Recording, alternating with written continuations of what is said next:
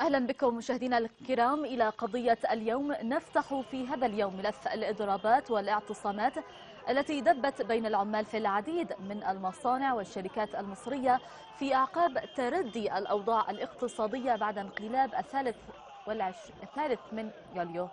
حيث أكد بعض الخبراء أن الانقلاب تسبب في تراجع كبير للاقتصاد بعد فرض حظر التجول وحالة الطوارئ التي أثرت بدورها على خطوط الإنتاج في المصانع التي كانت تعمل بثلاث ورديات ثم أصبحت تعمل بوردية واحدة فقط بالإضافة إلى قيام بعض أصحاب المصانع بمعاقبة العمال الذين يتظاهرون ويعتصمون للمطالبة بتحسين رواتبهم وأوضاعهم المعيشية. من ناحية أخرى أشارت التقارير الصادرة عن مرصد الشرق الأوسط إلى أن الاقتصاد المصري تكبد خسائر فادحة تقدر بأكثر من 120 مليار جنيه منذ الانقلاب العسكري. حول هذا الموضوع مشاهدينا الكرام يسعدنا أن نتلقى اتصالاتكم وآرائكم عبر الأرقام التي تظهر تباعا على شاشتنا.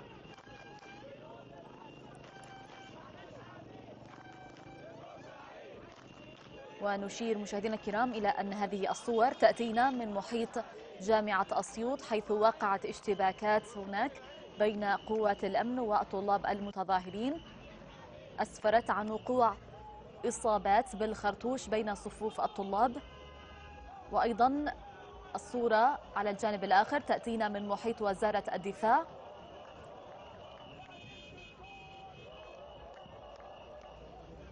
أيضا وقعت اشتباكات في محيط وزارة الدفاع خلال مظاهرة نظمها طلاب جامعة عين شمس في محيط وزارة الدفاع.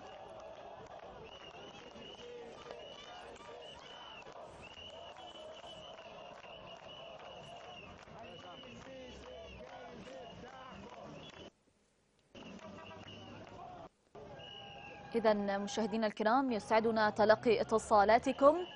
حول الإضرابات والاعتصامات في صفوف العمال في العديد من المصانع والشركات المصرية. معنا أستاذة ألاء من المنصورة تفضلي. أستاذة ألاء تفضلي. طيب أستاذ محمد تفضل. السلام عليكم. وعليكم السلام. اولا أشكر الجزيرة على المجهود المبذول والاحترافية الشديدة في نقل الأخبار والنقل الرأي والرأي الآخر هو ده المنتظر من قناة زي الجزيره بغض النظر طبعا عن الإعلام اللي إحنا بنشوفه كل يوم وطبعا يشوه الصورة وما يستضيفش إلا رأي واحد. فيما يتعلق بموضوع الاضطرابات العمالية هو طبيعي مع الانقلاب اللي حاصل حصل انهيار في كافة النواحي سواء الاجتماعية أو الاقتصادية أو السياسية ما يخص الاقتصادية بالذات يكفي إن إحنا بنسمع البيانات الشهرية للبنك المركزي بانخفاض الاحتياطي النقدي كل شهر مليار. ده بغض النظر إن إحنا دايما بنسمع من الحكومة إن هم وصل لهم 20 مليار أو 15 مليار كمساعدات وأول ما بتيجي بتختفي ومش معروف فين مصيرها. نعم. وبالتالي في كل الاحوال إحنا بنتعامل مع انقلاب. هو مش قادر يتعامل مع البلد وفي نفس الوقت هو مش عارف يعمل يعني هو مش عارف ينجي نفسه إزاي. نعم شكرا جزيلا لك أستاذ محمد. وضحت الفكرة. معنا الآن أستاذ محمد من السعودية. تفضل. السلام عليكم. وعليكم السلام. الله يكرمك. والله أنا يعني تحية لشبكه الجزيرة مش بس الجزيرة مباشر مصر إحنا من حبنا في الجزيرة حتى بدأنا نشاهد حتى رياضه الأطفال والله ربنا يكرمكم ويجزيكم خير. فأنا بس كنت عايز أقول يعني في الشارع أعلق بس على كلمة سويرة أمس للمصريين. وأذكر الناس بمشهد قاله هو زمان أيام الانتخابات البرلمان الأولى اللي اتلغت إنه كان خايف بيقول إن أنا بحب مراتي بتحب تلبس قصير وأنا بحب أشرب خمرة. فيبدو هو كان مزود العيار شوية وشارب لما قال اللي هم 300 واحد والكلام الفارغ اللي كان بيقوله ده. بالنسبة للاضرابات العمالية أظن والله أعلم العامل المحترم اللي بيبص بصة طويلة شوية أكيد لازم يضرب لازم لأنه مستقبل أولاده يعني هو شايف هيفضل زيه والعامل هيفضل عامل زي ما الزين قالها والغفير غفير والابن مستشار مستشار. فأولادهم ما لهمش أمل يعني. لكن اللي عايز يفضل ياكل بس خلاص زي ما هو يشتغل ويشوف أكل عيشه وخلاص. الدوامه اللي بقى لنا فيها 60 سنة بس بص شوف أكل عيشك. وما تبصش لأي حاجة ثانية هو ده الهدف طبعا من هو كمان فاللي اللي, اللي, خايف على مستقبل أولاده وعايز يعيش عيشة كريمة يعني له ولاولاده لازم يضرب الآن يعني. البني آدم لازم يضرب. غير كده بقى خليه ياكل تبني ياكل برسيم ما فيش مشكلة. نعم شكرا جزيلا لك أستاذ محمد. كنت معنا من السعودية. إذا كما تتابعون مشاهدينا الكرام هذه الصور تأتينا من محيط جامعة عين شمس. معنا الآن أستاذ محمد من جدة تفضل. السلام عليكم. وعليكم السلام. هو حضرتك أنا ألخص كلامي بعد إذن حضرتك في كلمتين. إحنا قعدنا فرحانين برأفت الهجان وجمعة الشوان واسرائيل سايبانا فرحان بالكلام دوت هيجي علينا يوم هيقولوا إن إحنا كنا مجندين السيسي وساويرس والناس اللي حضرتك شايفاها فقدنا الاتصال على ما يبدو بأستاذ محمد من جدة. معنا أستاذ عبير تفضلي ألو؟ تفضلي السلام عليكم. وعليكم السلام. ازي حضرتك؟ أهلا بيك تفضلي أستاذ عبير. آه، أنا اولا طبعا بشكر قناة الجزيرة علشان هي اللي كانت ممبر في 25 يناير واللي نجحت الثورة ودلوقتي برضو إن شاء الله هي اللي هتنجح ثورة 25 يناير 2014 بالنسبة للإضراب بتاع العمال والله أنا عايزة أقول لحضرتك إن يعني كرأيي وما تزعليش مني مش عايزين نركز على الحاجات دي دلوقتي لأنها مش هتفرق مع الانقلابيين.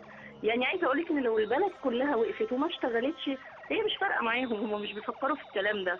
هم بس بيفكروا إزاي ينجوا بأنفسهم.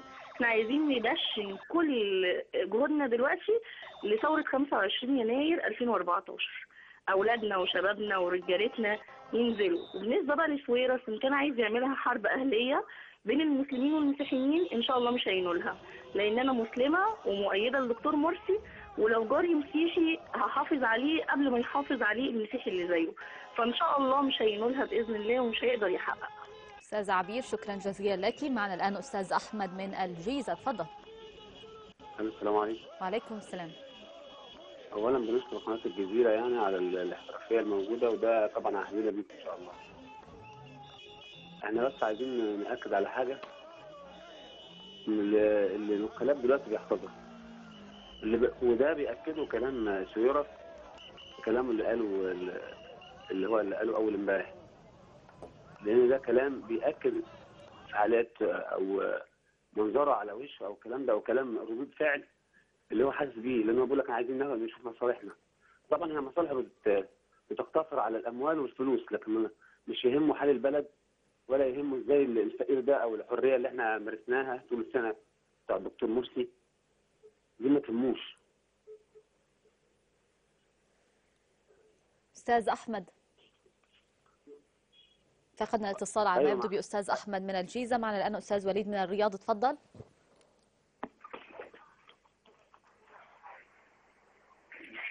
عليكم. وليد. وعليكم السلام تفضل السلام عليكم. وعليكم السلام تفضل يا أستاذ وليد. والله أنا عايز أقول لسلطه الانقلاب. بلاش يعملوا في الطلبة كده. الطلبة يعني هم روح الوطن.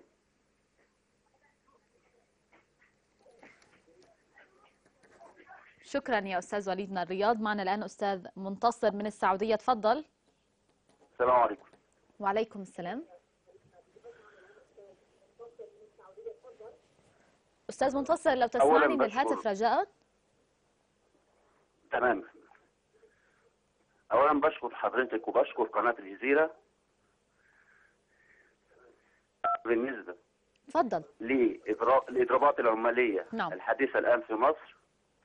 اولا العمال جزء أصيل ولا يتجزأ من نسيج الشعب المصري طالبوا ما طالبوا من الظلم والدموية والسرقة. نعم. معنا الآن أستاذ أبو سيف من السعودية تفضل. السلام عليكم. وعليكم السلام تفضل. رجاء لو تسمعني من الهاتف. آه عفوا. تحية كريمة بكل كرم للجزيرة والميديا وال... وإعلامها المتحضر الراقي اللي بي... بينقل الحق live كده مباشر للناس كلها. يعني رؤية صوت صوت وصورة اللي ما بتشوفش من الوصال بيبقى أعمى. واللي بيقولوا الجديد بتقول وبتجيب الحاجة الثانية حضرتك. هل يستطيع هل يستطيع العمال الحصول على مطالبهم وحقوقهم من خلال هذه الإضرابات والاعتصامات التي ينظمونها؟ سيدة الفاضلة العمال لم يحصلوا على حقوقهم منذ فجر التاريخ إلى الآن فكيف سيحصلون عليها من من هذه السلطة الإنقلابية التي أعلن وأعلن إفلا- إفلاسها وفشلها رئيس الوزراء نفسه أو وزير مالية سويسرا لما قال في خلال الثلاث شهور الأخيرة من سلطة الانقلاب تم التحويل إلى البنوك السويسرية بأرصدة خاصة 64 مليار دولار. فكيف سيحصلون عليها؟ هم لا يجدون ما يسرقونه فكيف يجدون ما يعطونه للآخرين؟ هذه سلطة لا ترى إلا نفسها. هذه سلطة عمياء بالآخرين لا تسمع لا ترى لا تتكلم. وهذا الانقلاب لا بد من بحره إن شاءوا أم أبوا. ولكن ولكن هي تحية فقط للشعب المصري الذي بدأ أن يستفيد. فقط بدأ أن يستفيق الآن بعد حبس دوما وأحمد ماهر وأحمد عادل والنشطاء السياسيين الذي كنا على خلاف معهم. أيام حكم الدكتور مرسي الذي كان على الحكم أيضا خلاف ولكن قد اتفق الشعب المصري. الآن بدأ يستفيق ولكن يعني البكاء على اللبن المسكوب لا لا يبدي ولا يثمر لنا الآن. ولكن هي هي هي, لحظة استفاقة للشعب المصري ليعلم ليعلموا جميعا وجميع المصريين يعلموا أن هذا هو انقلاب دموي كامل الأركان. لا بد من محاربته. وليعلم وليعلم الانقلابيون أيضا أن أن أن جنوب أفريقيا عندما حدث فيها انقلاب على السلطة أو البيض على السود عملوا 16 دس أكثر من من 12 دستور في 16 سنة. فلن يكون فلن تكون المهلة معنا هي سنة أو يوم أو اثنين هي الحرية ثمنها غالي فلا بد وأن يعلموا أن الأمر مستمر والأمر سيستمر والأمر بنا سيطول ونحن نعلم ذلك جيدا. فهي حرب على حرية. وأقسم بالله العظيم أن أنا لست إخوانيا ولست مؤيدا للإخوان ولكن هي الحقيقة تقال. وأقولها أخيرا عفوا سيدتي إذا كنت غطلت عليك في هذا الأمر إن لو كان ما يحكمنا بدل دكتور مرسي في هذه الفترة الماضية هو كان رئيس مسيحي أو أو ليبرالي أو من أي حزب أو من أي جماعة أخرى غير إسلامية حتى لو مسيحية كنت سأقف معه لأن هي وقفة مع الديمقراطية نعم.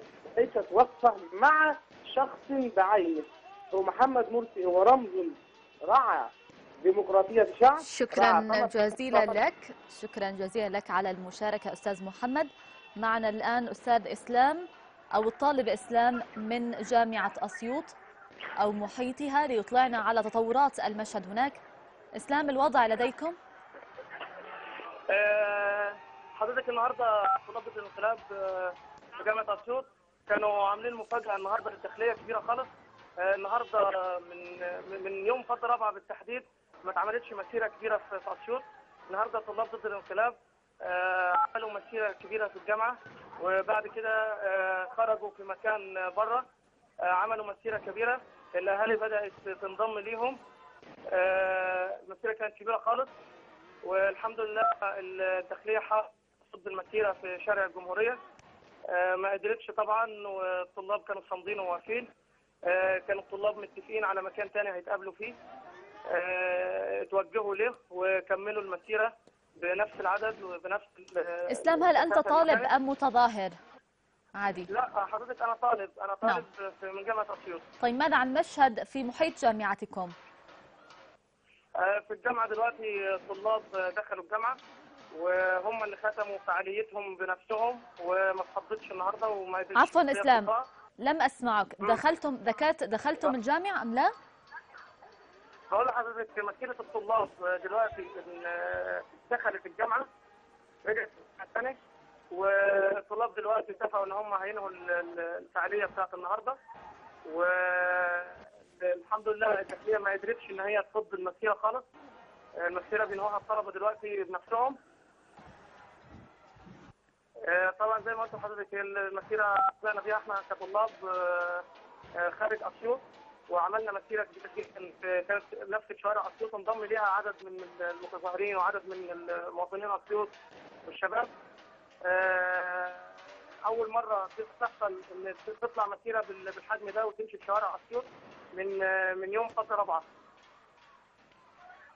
طيب آه، إسلام المسيرة كان ده ليها وفقا لزملائك هناك إصابات. بالخرطوش هل لديك إحصائية لعددها؟ آه أيوه حضرتك إحنا اصابوا بالظبط آه، 11 واحد بالخرطوش.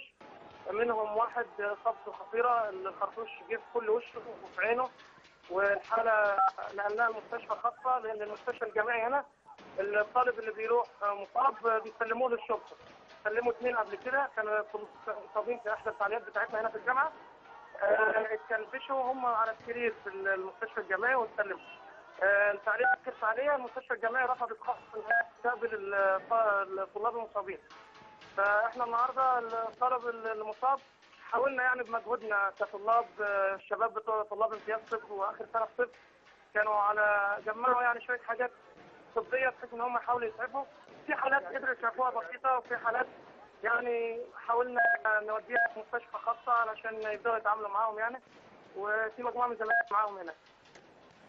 نعم شكرا جزيلا لك إسلام. كنت معنا من محيط جامعة الأسيوط ونقلت لنا صورة المشهد هناك. معنا الآن أستاذ علي من الجيزة تفضل. السلام عليكم. أستاذ علي أثر الإضرابات والاعتصامات العمالية على المشهد السياسي في مصر الآن إيه برأيك؟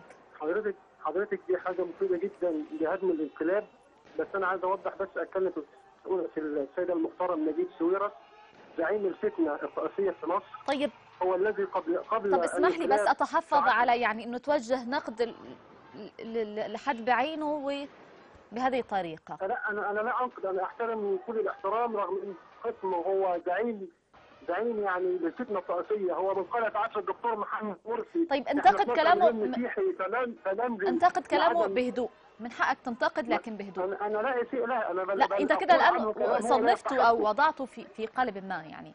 معلش أنا أتحفظ آه، على ده.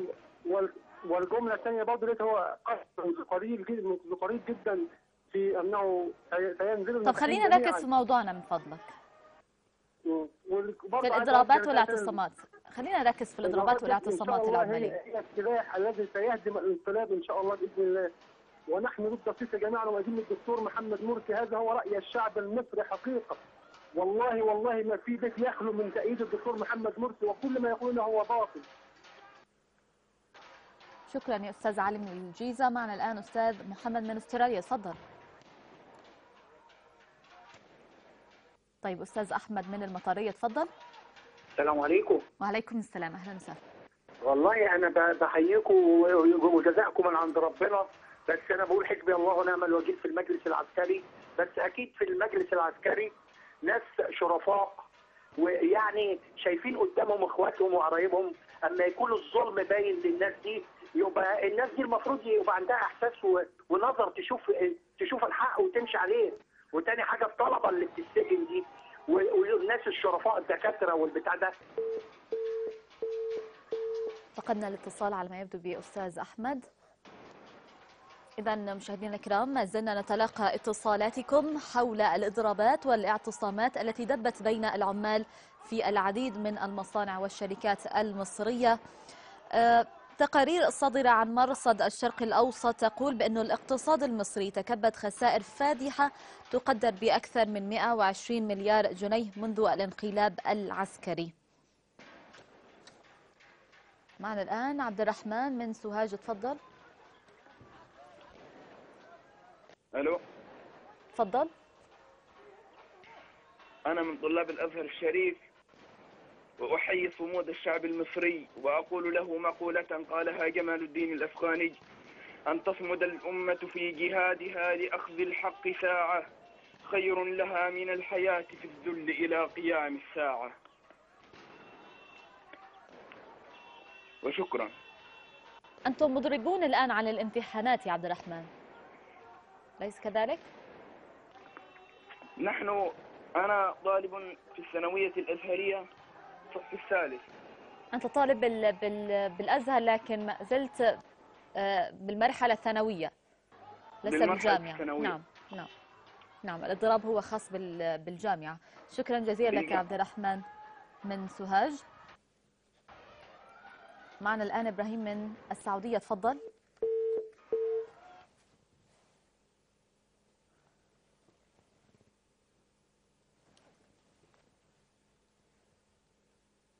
هذه الصور تأتينا مشاهدينا الكرام منذ قليل لمظاهرة أو مسيرة في مدينة الزقازيق بمحافظة الشرقية.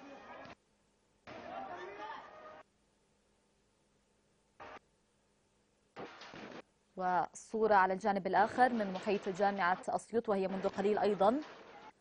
وكانت اشتباكات قد وقعت في محيط جامعة أسيوط بين قوات الأمن التي منعت بدورها الطلاب من دخول جامعتهم. وأطلقت عليهم الخرطوش ما أسفر عن وقوع عدد من الإصابات وفقا للطلاب المتواجدين في محيط الجامعة. معنا الآن زينب من المنيا. زينب إزاي بتشوفي الإضرابات والاعتصامات العماليه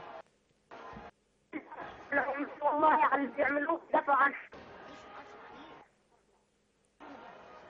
يبدو هناك مشكلة في الاتصال مع زينب. معنا عبد المقصود. أستاذ عبد المقصود اتفضل. السلام عليكم. وعليكم السلام.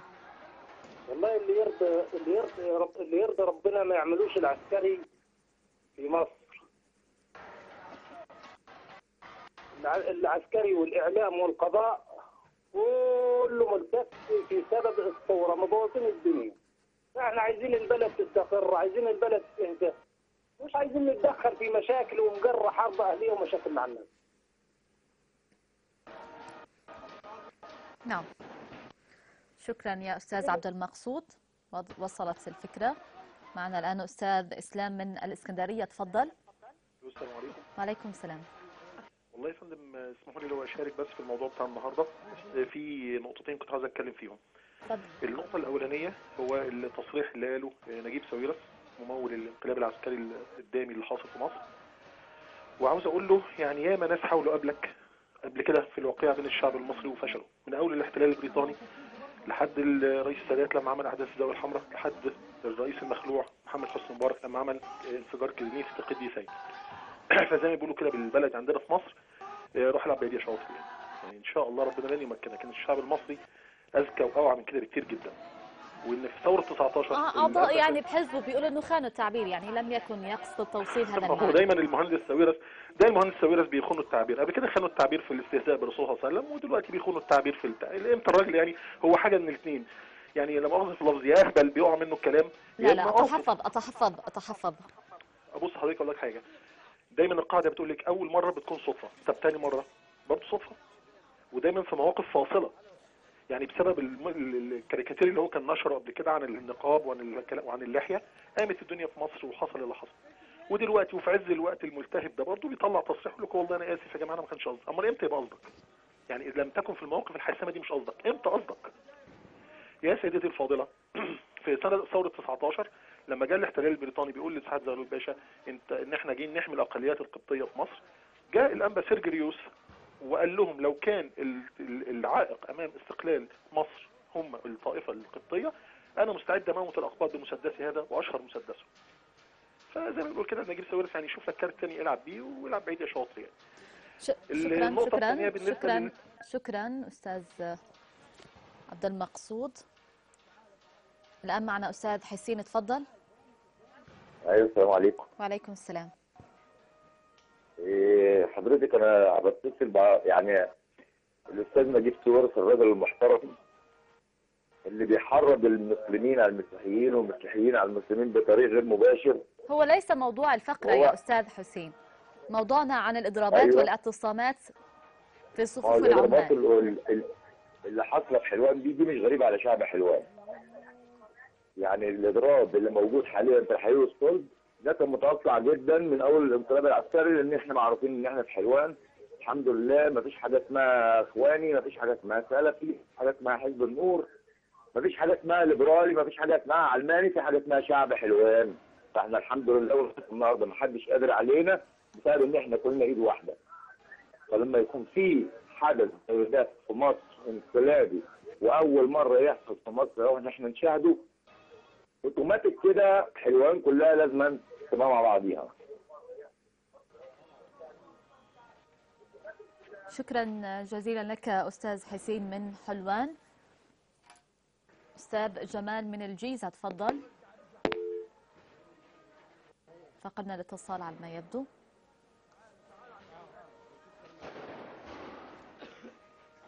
إذا مشاهدينا الكرام كما تتابعون هذه الصور تأتينا من الزقازيق في الشرقية لمسيرة مناهضة للانقلاب. معنا الآن أستاذ يوسف من قطر تفضل. آه، ممكن أشارك آه، مع حضرتك؟ تفضل. هو اسم الموضوع يعني اسم الحلقة؟ الإضرابات والاعتصامات العمالية رأي حضرتك فيها؟ بالنسبة للإضرابات وال- إحنا المفروض ما نستعدش آه، الحكومة الحالية دي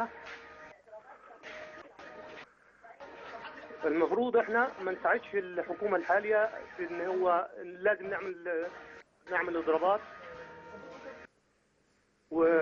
واعتصامات والكلام ده كله. ثاني حالة ال- بالنسبة لموضوع نجيب سويرس اللي هو قالوا امبارح ده وطلع على شاشة التلفزيون وقالوا وسمعناه كلنا على شاشة التلفزيون. وقعد قال آه، على قناة ال- مش عارف أنهي قناة بالضبط قال آه، إحنا آه، اللي يعني الكلام اللي قاله نجيب سويرس ده. ده برضه المفروض ما كانش يقولوا ده راجل آه، يعني آه، إحنا ما نقول عليه راجل وطني لكن هو راجل مش كويس. ألو؟ نعم. شكرا جزيلا لك. حتى نعطي المجال لآخر اتصال وهو أستاذ وائل من السعودية. تفضل. السلام عليكم. وعليكم السلام. تفضل بإيجاز شديد. أنا أنا بحيي قناة الجزيرة اولا على كل المجهود الكبير دوت وبحيي الشعب المصري كله الشعب المصري كله بحييه سواء أقباط ضد الانقلاب أو أو طلاب جماعة الأزهر. وبقول للشعب المصري اقف ضد الانقلاب. هذا الانقلاب ده كله هيسير علينا بالأسوأ بالأسوأ بالأسوأ. بالأسوأ بالأسوأ بالأسوأ. والاضرابات والعصيان المدني ده كان واجب من أول يوم في الضربات الاضرابات والعصيان المدني أنت معايا يا فندم؟ نعم معك تفضل الاضرابات والاعتصامات دي كانت واجب من أول يوم في الضربات مش مهم إحنا مش لازم ناكل أو نجوع أو نبرد أو أو نعيش حتى في العراء. المهم الانقلاب العسكري يفتح وبحيي شعب المنيا كله وبحيي عائله حسنين كلها ضد الانقلاب. أنا كان عندي ولاد عمي وولاد عمي كلهم معتقلين خمسة معتقلين. كل واحد دفع 5000 وخرج بسبب الاحتكارات وبسبب الانقلاب العسكري. وبحيي الشعب المصري كله وأشكر قناة الجزيرة وأشكر قناة الجزيرة وربنا يجازيكم كل خير. شكرا شكراً فندم. وائل من السعودية. إلى هنا مشاهدينا الكرام نصل إلى ختام حلقة قضية اليوم لهذا اليوم. شكرا على تفاعلكم ومتابعتكم. إلى اللقاء.